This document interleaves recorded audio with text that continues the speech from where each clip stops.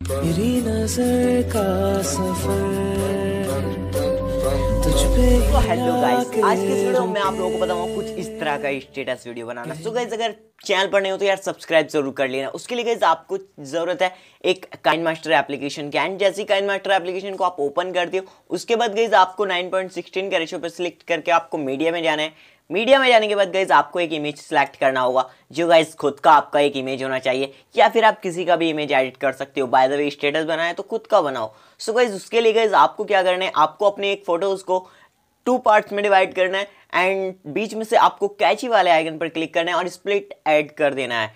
अब इसके बाद गई आपको अपने इमेज को लेके कुछ इस तरह से ज्वाइन कर लें, जिससे आगे आपका इमेज आगे पीछे ना हो। इसके बाद गई यहाँ पर आपको ट्रांजिशन बाद में डालना बताऊँगा। इसके पहले आपको लेयर पे जाना है मीडिया पे जाना है, उसके बाद गई आपको यहाँ पर डाउनलोड्स में जाना है। एंड डाउनलोड में गाइज़ मैंने एक इफ़ेक्ट को डाउनलोड किया हुआ है जो गाइज़ आपका एक लाइट इफ़ेक्ट है वो गाइज़ आपको लेंगे। डिस्क्रिप्शन में मिल जाएगा हमारे टेलीग्राम चैनल का वहाँ और उसके अलावा हमारी वेबसाइट है वहाँ से आप डाउनलोड कर सकते हो। उससे सिंपल गाइज़ आपको हमारे ये लाइट इफ़ेक्ट आपको कैसा लग रहा है? सो गाइज़ आपको फुल स्क्रीन पर कर लेना है और इसके नीचे आना है।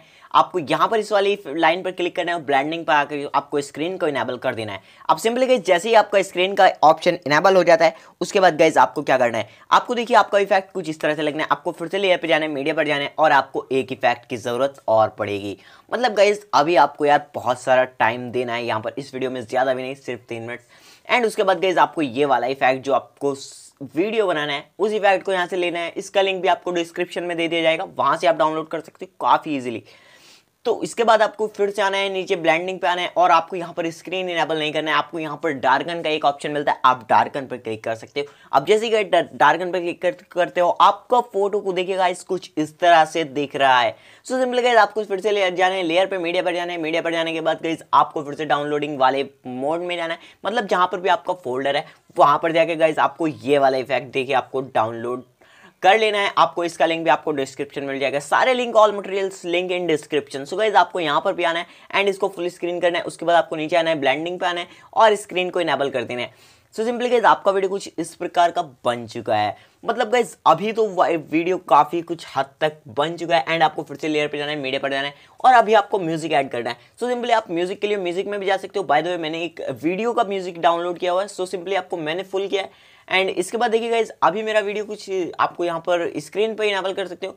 सो सिंपली गाइज़ अभी ये वाला तो मैंने एक इफ़ेक्ट लगाया एंड इसके अलावा देखिए गाइज़ मैं लेयर पर जाता हूँ मीडिया पर जाता हूँ। एक मेरा जो म्यूज़िक वाला वीडियो है उस म्यूज़िक वाले वीडियो को मैं यहाँ पर सेलेक्ट कर लेता हूँ। सो सिंपली गाइज़ अपने डाउनलोडिंग फोल्डर से मैं यहाँ पर आता हूँ। एंड जहाँ से मेरा वो वीडियो है तो गाइज़ ये वीडियो मैं देखिए अभी यहाँ से सिलेक्ट कर लेता हूँ। सो सिंपली गाइज़ मेरा वीडियो यहाँ पर सिलेक्ट हो चुका है। अब गई यहाँ पर मुझे अल्फ़ा एपिसोड पाना है और इसको ज़ीरो कर देना है। सिंपली अब अभी आपका यहाँ पर खाली म्यूज़िक म्यूज़िक बचना है। एंड गई अभी आप देख सकते हो, काफ़ी अच्छे से हमारा म्यूज़िक ऐड हो चुका है। तो सिंपल गई आपको यार ये वीडियो कैसा लगा है एंड किस तरह से आप ऐसा वीडियो बना सकते हो। इसके बाद गई आपको क्या करना है? आपको वीडियो को एक्सपोर्ट कर लेना है। आई होप कि आपको वीडियो काफ़ी पसंद आए पसंद आया तो लाइक कर देना। चैनल पर नहीं हो तो सब्सक्राइब भी कर लेना ताकि सारी अपडेट आपको सबसे पहले